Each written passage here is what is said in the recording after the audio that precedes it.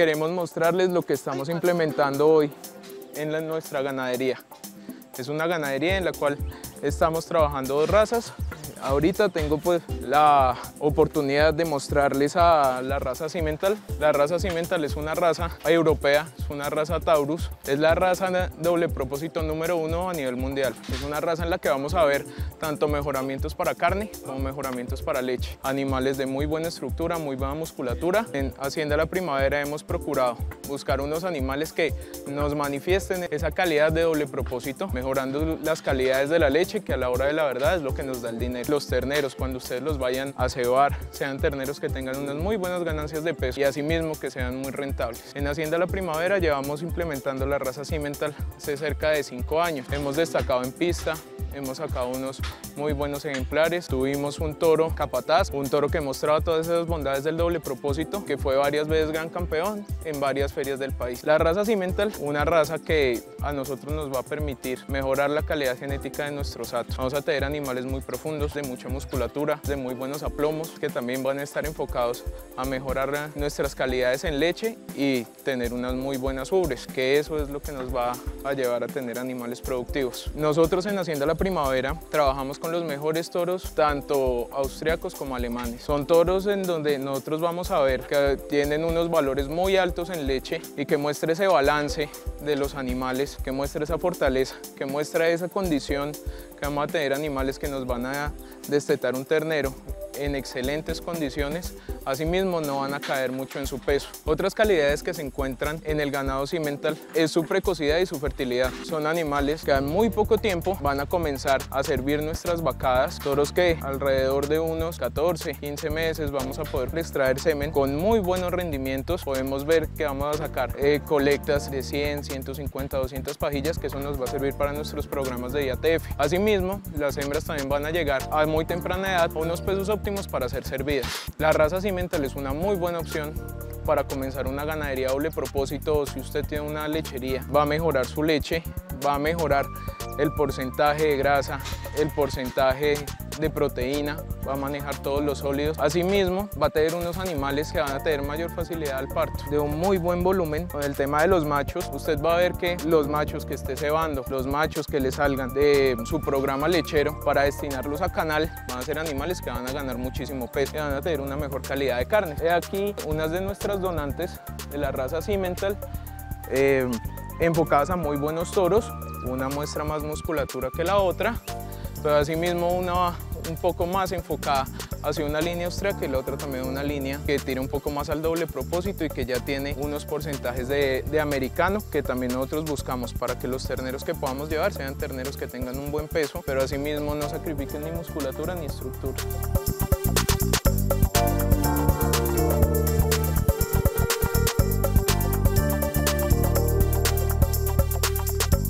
Amigos de Faenas de Campo, el día de hoy nos encontramos en Hacienda La Primavera, en el municipio de Fusagasugá, Cundinamarca. Eh, el día de hoy hemos querido compartir con ustedes un poco de nuestro esquema de trabajo, una empresa ganadera que está naciendo y creciendo. Hoy les queremos mostrar nuestra cría de ganado cimental. Tenemos un núcleo de cimental puro enfocado hacia la doble utilidad, el doble propósito y sobre todo vamos a hacer mucho énfasis en nuestra cría de ganado charolé donde afortunadamente en la finca poseemos los mejores ejemplares del país, tenemos las mejores vacas en este momento y queremos compartir con ustedes cómo han sido las experiencias y por qué el ganado de Hacienda La Primavera es un ganado que se puede adaptar en cualquier parte de Colombia y puede ser rentable para cualquier esquema productivo.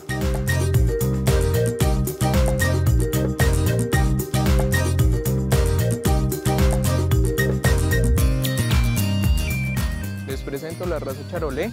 La raza Charolais, una raza de origen francés, se da en el sudoeste de Francia, en la provincia de Charolais. La raza Charolais es una raza que como pueden ver es de un color blanco hasta el color crema.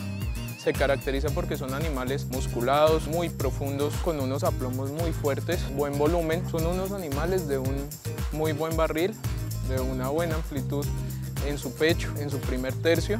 En el tercio medio vamos a ver animales muy profundos, no van a ser animales que van a tener de pronto unos partos distóxicos o partos dificultosos, sino son animales que si lo sabemos trabajar muy bien, nos van a dar unas excelentes crías. La raza Charolais es una raza que en su incursión América, en su incursión a Estados Unidos, en su incursión a México, Brasil, Colombia y otros demás países que estamos comenzando a trabajar con esta raza, hemos ido puliendo, las hemos ido acoplando un poco más a nuestro ambiente. Aquí tenemos mucha incidencia de garrapata y mucha incidencia de mosca, pero asimismo estos animales los hemos sabido adaptar y hemos hecho una selección en la cual estos animales no tienen problemas ni de fiebres, no tienen problemas de anaplasma, no tienen problemas de anemia. Son animales que hemos trabajado buscando que sean talla media, que sean unos animales más refinados. Este buen grupo de hembras que tenemos acá oscilan más o menos entre los 650 a 850 kilos de peso.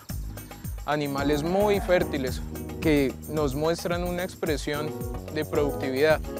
Y eso es animales que desde los 14, 15 meses los, podemos estar sirviendo. Y vamos a tener una tasa de preñez muy alta. Y asimismo, al momento de hacer nuestros programas de cruzamientos, nuestros programas de mejoramiento genético, vamos a ver que eso se va a traducir en dinero, que eso va a traducir en productividad, en efectividad vamos a ir a animales que nos van a mostrar unos rendimientos muy grandes en canal, unos, rendimientos importantes y asimismo son unos animales que también nosotros vamos a ver una excelente calidad de carne. Vamos a ver una raza que muestra unos buenos índices de marmoreo, el ojo de bife es un ojo de bife amplio y también vamos a mirar un porcentaje en grasa que va a ser muy bueno. Tenemos varios animales aquí, esta es la muestra que tenemos élite de Hacienda La Primavera donde vamos a encontrar las campeonas del 2012 hacia acá, desde Catama del 2012, que sacamos una gran campeona, pasando por Agroexpos, pasando por las otras ferias a las que hemos asistido. Tenemos animales como esta hembra, que esta hembra es una hija de un toro americano, la 667, se llama, se llama Triduque, es hija del Duque 914, un toro muy antiguo de una línea americana. Es una hembra que destacó porque en nuestra Feria Agua Azul, que fue el 17 de noviembre, fue la gran campeona. Es una hembra que tiene una muy buena fortaleza en el pecho y su profundidad son muy armónicos. Una hembra muy buena en aplomo, su sistema mamario es muy bueno.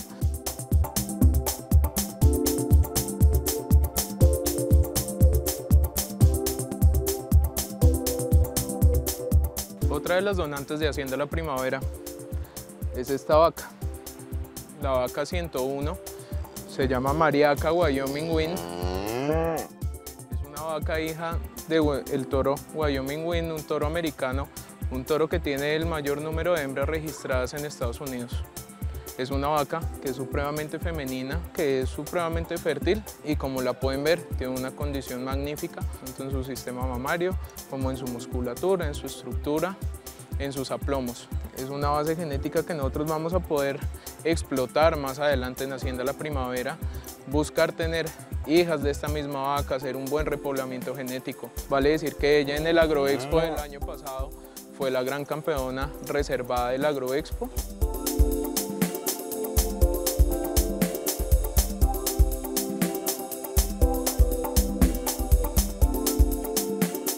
Esta vaca es de las vacas más adultas de la finca. Es la 105 Marigold Smokester. Vale decir que Smokester hace uno o dos años fue el toro número uno de la raza en Estados Unidos. Ella es una hembra que hace dos años fue gran campeona en Bucaramanga. El año pasado fue la gran campeona de Agroexpo, mostrando un espectáculo hermoso en donde ella salió con sus dos crías, un parto de gemelos en donde vimos dos terneros caminando por la pista, una vaca muy completa que había parido hacía menos de un mes y asimismo la llevamos a Agroexpo y se expresó divinamente.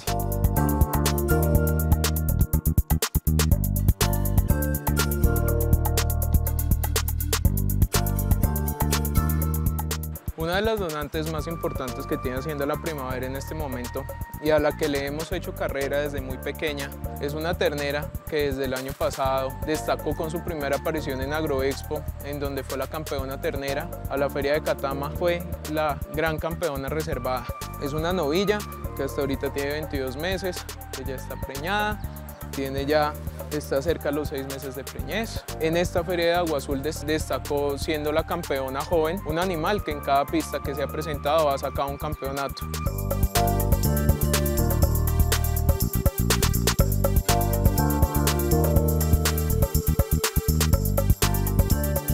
Aquí tenemos a este torete, un torete que destacó en la Feria de Agua Azul porque fue el campeón intermedio, torete que impactó mucho desde que entró por su gran tamaño, por su buena conformación, asimismo por su amplitud en el pecho, por su fortaleza en la línea del corazón. Es un torete que hace muy corta edad, porque hasta ahorita tiene 15 meses en trabajos y en despachos que hemos hecho a varios lugares del país. Hemos vendido cerca de 200 pajillas y tenemos otras 200 pajillas congeladas. Es un torete que se, que se destacó desde que comenzó su carrera en pista en Catama este año porque quedó como campeón ternero reservado.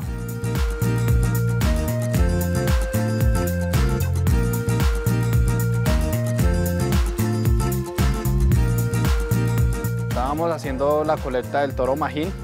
Eh, ya llevamos con el día de hoy tres trabajos con este toro. La idea es pues, recolectar semen para hacer pajillas para la misma finca. Estamos haciendo pajillas de 60 y 70 millones de espermatozoides por pajilla.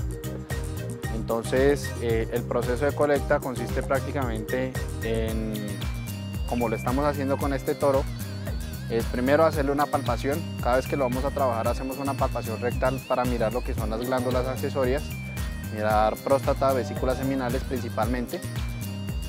Posteriormente, sabiendo que está eh, apto, eh, procedemos a utilizar el electroeyaculador con el cual vamos a hacer la extracción de semen. Eh, con él trabajamos cuatro tomas en un día. aproximadamente ya tenemos unas 360, 370 pajillas congeladas. Entonces hacemos la extracción del semen y pasamos directamente a un laboratorio, pues en este caso un laboratorio improvisado donde tenemos un microscopio, una placa térmica para ver adecuadamente la motilidad masal primero y posteriormente la motilidad individual del semen. Posteriormente lo que hacemos es una dilución uno a uno con el diluyente. Eh, diluyentes podemos utilizar de varios tipos.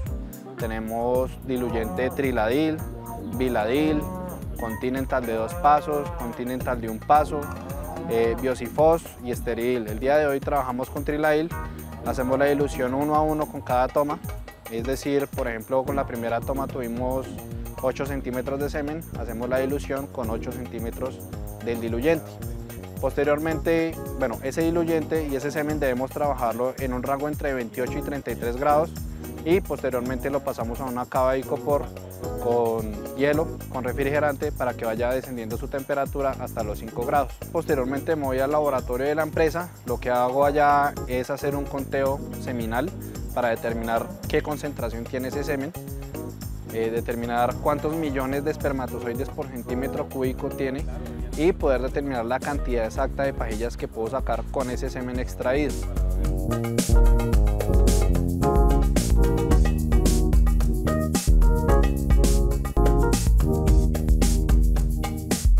El día de hoy nos encontramos aquí en la Hacienda La Primavera realizando la recertificación de ato libre de brucelosis bovina y de tuberculosis bovina.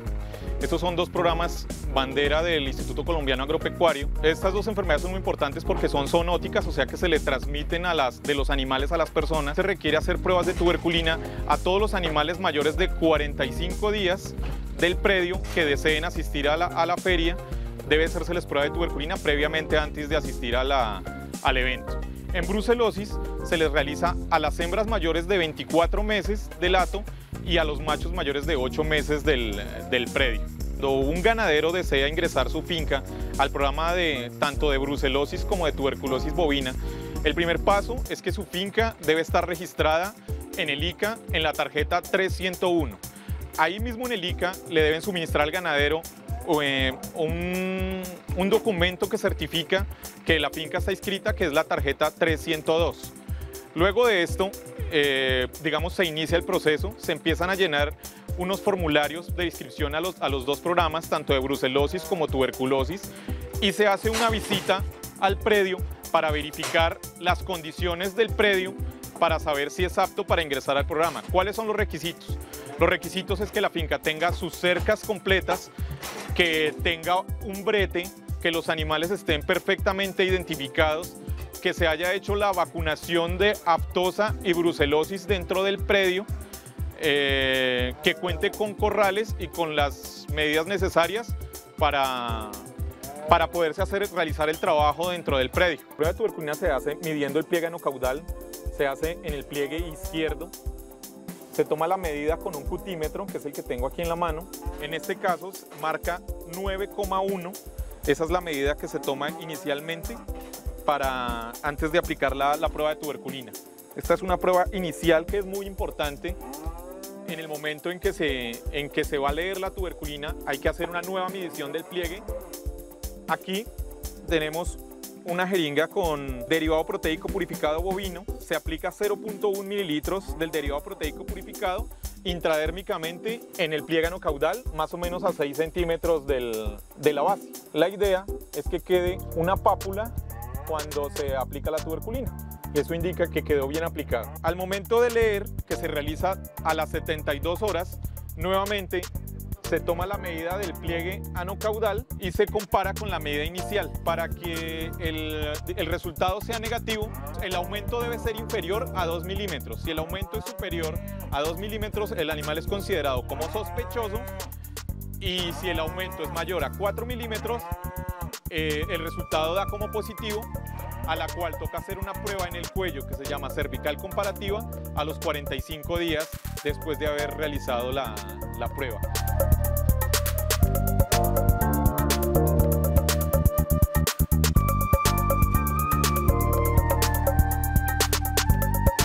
También Hacienda la Primavera, eh, acompañados de un programa de mejoramiento genético, procuramos mostrarle a la gente también las bondades de los animales en un potrero animales que tienen la misma genética que otros que podrán estar en pista, pero a un menor costo, que de pronto la manutención no ha sido la misma o que en determinado caso pudimos decir que como tenemos hermanos completos de unos y otros, destinamos unos para potrero y otros los destinamos para pista.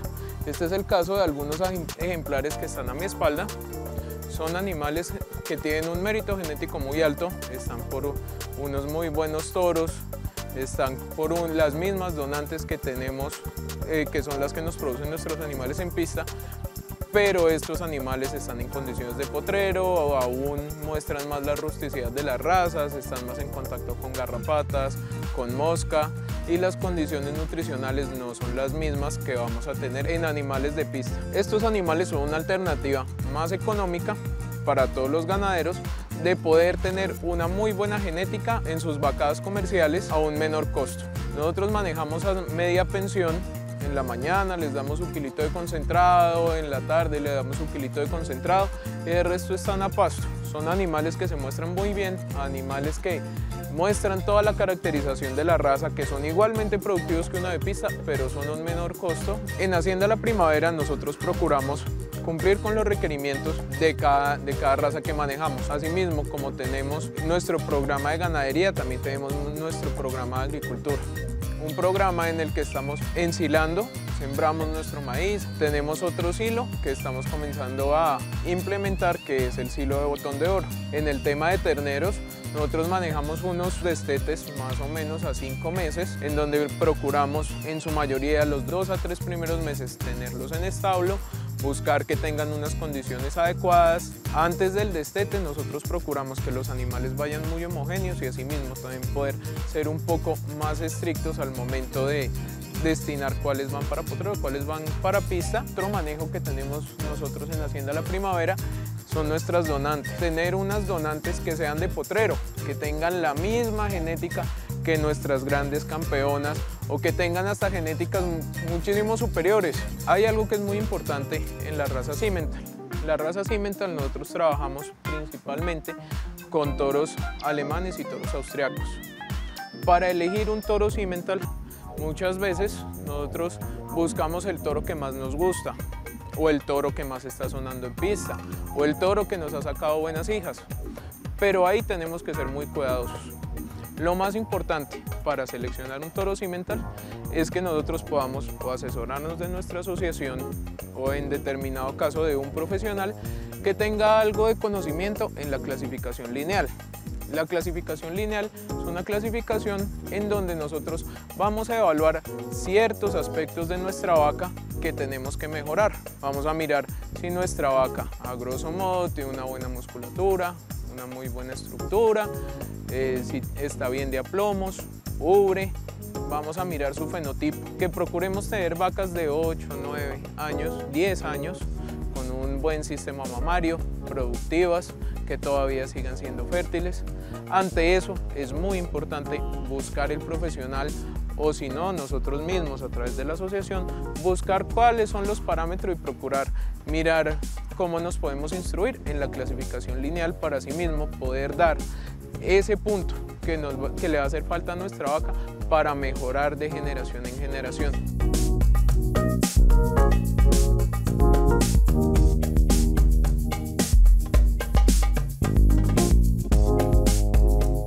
En este programa hemos procurado mostrar una faceta de una finca que está en crecimiento, una finca que sin grandes instalaciones, sin instalaciones que demanden mucho dinero ni mucho costo, vamos a ver que podemos tener un programa genético, programa de mejoramiento genético en nuestra finca que va a ser productivo, que va a ser eficiente y aparte de todo que nos va a dejar platica.